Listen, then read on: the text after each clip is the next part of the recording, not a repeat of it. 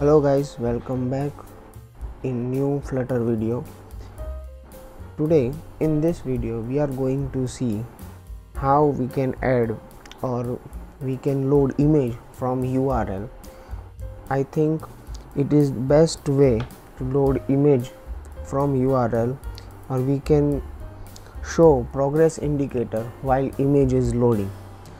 Before starting video consider subscribing my channel. I upload programming and development related videos regularly on this channel. Let's back to the video. So here i have created empty flutter project with home page where there is an app bar and empty body. Okay? Now for loading image we need one library named cached image network.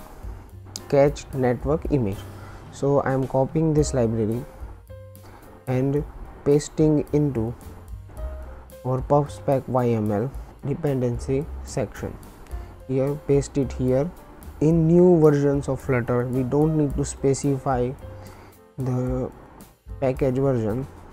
Hit save or in mac command save s to download the library. It will vs code automatically run pub pub get for us. Now once library is downloaded let's first run our project.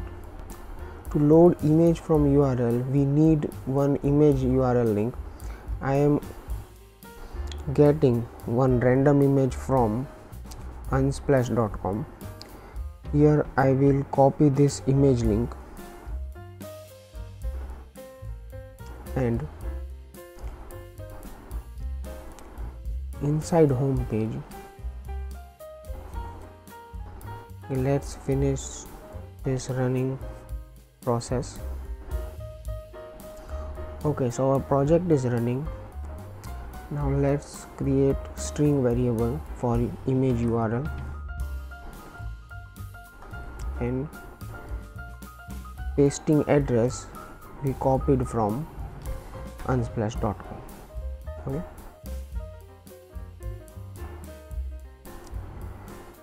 now inside container let me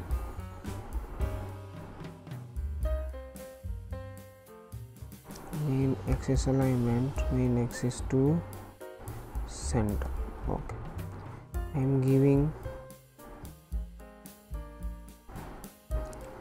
width um, width of 200 and height of 200 now inside container we are going to use cached network widget from this library. So let's copy this code and paste it here inside our child. Import library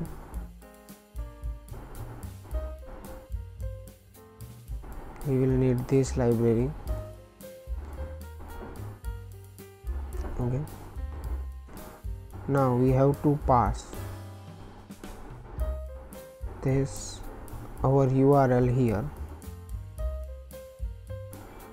So let's pass image url variable. This is circular progress indicator and error. If image if there is any error if cached image network doesn't find that url it will show error icon and while image is loading into cached cache it will show circular progress indicator. Let me save the project. And here you can see our images loaded from the url let's run it again to show to see how it's work. Okay. This is how you can load image from the url i hope you like this video. I'll see you in the next one. Thanks for watching